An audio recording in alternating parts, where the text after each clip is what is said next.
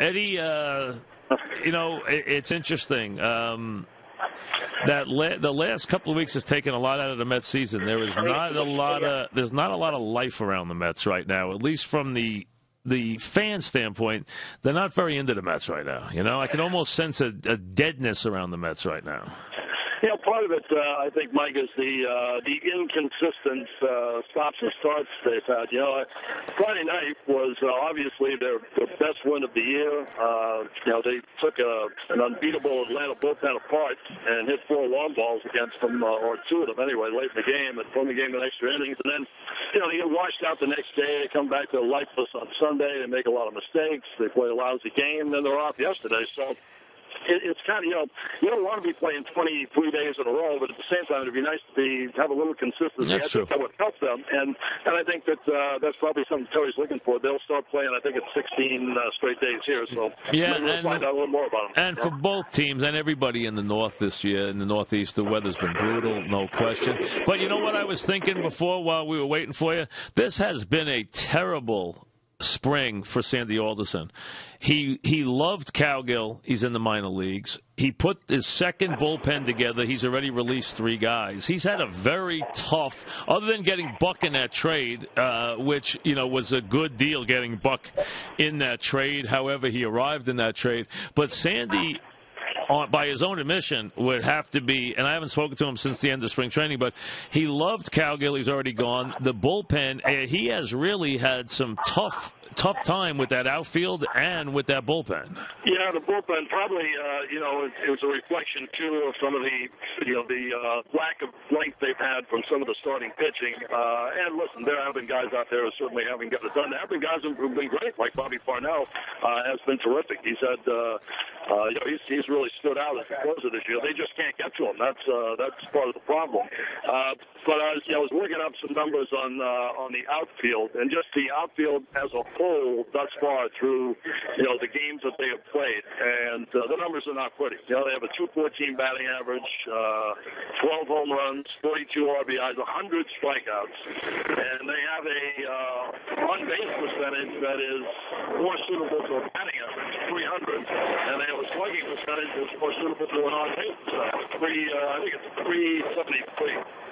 Hard to win, hard to win that way, Eddie, and, and, and none of it has worked out. And the Valdespin thing is the one people talk about. And I really, the way I answered it is this: I said, listen, he looks better than the other outfield prospects. I agree, but what I've noticed is when he's played regularly, it's diminished returns. He seems to be better off the bench than he is as an everyday player. You know, he's kind of a uh, you know one-shot wonder in a sense, and I, I'm not pegging him that way. You know, obviously, uh, the home runs that he hit as a pinch hitter, you know, everyone knows about that. Uh, the electricity he gives you off the bench, but you're right. I mean, he had a start the other night. He went 0 for 4. Uh, he has not endeared himself to people here, but you know, not showing up for batting practice when he should. Uh, you know, he's he's made a lot of mistakes, and he still makes mistakes in the field as well too. There's a lot of talent there, uh, and Terry's trying to manage it and use it the best that he can. Uh, I, I can't fault him for the way that he has used them.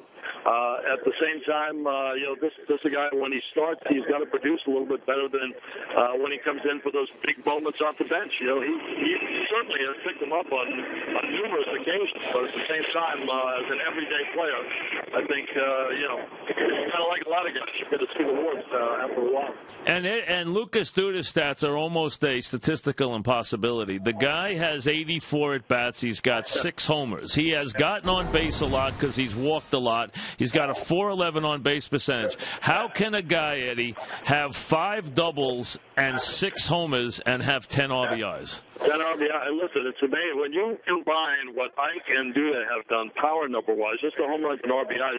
I believe it is 11 home runs and uh, 18 RBIs. But figure out Duda. You have to get six for six homers, and that means with the five doubles and every other hit, he has driven in four runs on the season.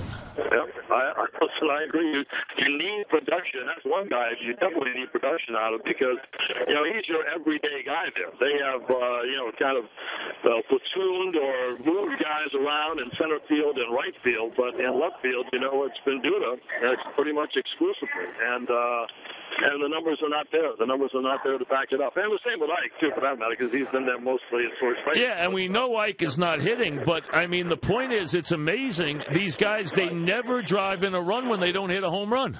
Yeah, no, that's, that's very true. Some of the home runs are some home runs, so you know they're driving different. Yeah, I, I agree with you. But it's, uh, it's no, I mean, do- I can day I can do to have ten homers. Nine of them have got to be solo shots, right? Yeah, I would think. I, I have to go back and look, but I mean, there was, you know, I, I think a week and a half ago, or maybe less than that. You know, I was looking, and they both had the same numbers.